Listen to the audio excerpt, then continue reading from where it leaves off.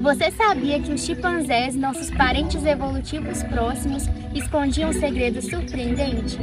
Um estudo recente revelou que os humanos não são mais os únicos primatas que passam pela menopausa. Por mais de duas décadas, uma equipe de cientistas acompanhou e analisou a comunidade de chimpanzés em Gogo, coletando dados valiosos através da urina. Através disso, eles descobriram que aos 50 anos os níveis hormonais desses chimpanzés mudam, confirmando a menopausa, um fenômeno muito similar ao das mulheres humanas. Mas por que demoramos tanto para descobrir isso? Porque estudar esses primatas não é uma tarefa fácil. Seu ambiente selvagem e suas vidas longas tornam a pesquisa desafiadora, mas não impossível.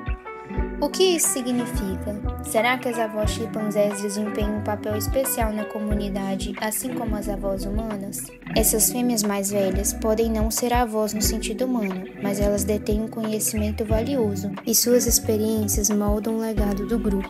Essa descoberta levanta novas perguntas sobre a evolução e comportamento dos primatas, nos aproximando mais do mundo fascinante dos chimpanzés.